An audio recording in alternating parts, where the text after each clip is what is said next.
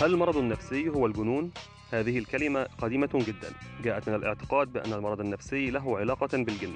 وظلت مستخدمة فترة طويلة. لكن الحقيقة أن المرض النفسي له أسباب واضحة ومعروفة. وكان لنا هذا اللقاء في مستشفى العباسية. المكان اللي إحنا واقفين فيه ده مستشفى العباسية للصحة النفسية اللي هي بقالها أكتر من 100 سنة. والمبنى اللي قصادنا ده مبنى الأمانة العامة للصحة النفسية اللي هو بيمثل الإدارة المركزية لكل مستشفيات الصحة النفسية ومسؤول عن التخطيط والاستراتيجيات بتاعة الصحة النفسية في مصر تبع وزارة الصحة وما هي الصحة النفسية أصلا؟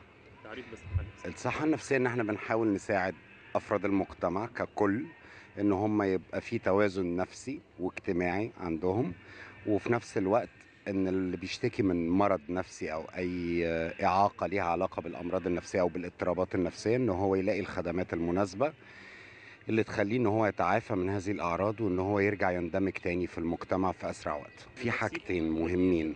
مفهوم العلاج. أنا مش ما يفرقش معايا زيك ده مستشفى ولا مركز. مفهوم العلاج.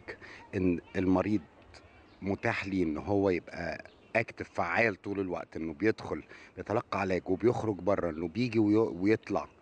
مش إن مستشفى ليها أسوار وباب ومقفول. كلنا العباسيه والخنكة بيجي في دماغنا زمان كلنا بنخاف. قبل ما أشتغل الشغلانة دي كنت أستغرب يعني إيه المكان ده العباسية الخنكة. ما أعرفش إيه اللي بيجري ورا الأسوار. المفهوم الجديد إنه لأ الأماكن دي مفتوحة. المريض اللي محتاج مكان مقفول نسبة قليلة وبيحتاجوا ده لفترات محدودة في حياتهم. المريض بقى حاجة محترمة على في المجتمع لنفسه ولذاته ولغيره لأن بقوا يهتموا بيه ويحسسوا الأهل ويحسسوا المريض إن أنت إنسان في قلب المجتمع ما أنتش إنسان مرفوض. وبقت كل الخدمات اللي هي بيحتاجها بتتقدم له. بقى في عندنا دلوقتي في العيادة الخارجية في متابعة وفي عيادة وفي متابعة بره للمريض في بيته اللي هي طب المجتمع. إن إحنا بنوصل الخدمة للمريض لحد بيته عشان نحسسه إن أنت مش قادر تيجي لنا المستشفى إحنا هنوصل لك لحد عندك أنا بشتغل في العباسية من من سنة 72 دي السنة ال 40 ليا في المستشفى. أول ما جيت المستشفى كان كل قسم حواليه سور حديد المريض ما يقدرش يخرج يتحرك حو... يعني بره السور دوت اللي اللي, م... مقيد فيه إن المكان دوت ما يتحركش منه.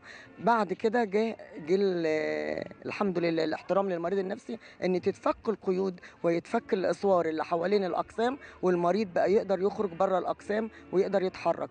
بعد كده مع التطوير ومع ال- الطفرة الجميلة اللي إحنا فيها دلوقتي بقى المريض طليق في قلب المستشفى. ومفيش مريض بيحجز يفضل سنين. المريض أول ما بيتحسن بنبتدي نخرجه ويخرج للمجتمع وبيؤهل إن هو يخرج للمجتمع. في عالم متغير ومتطور شهد الطب النفسي تطورات قد تكون مجهولة للمجتمع والذي عليه استيعاب معنى الأمراض النفسية وعدم الخوف من الدخول إلى مستشفى العباسية. أحمد علاء الدين نهارك سعيد.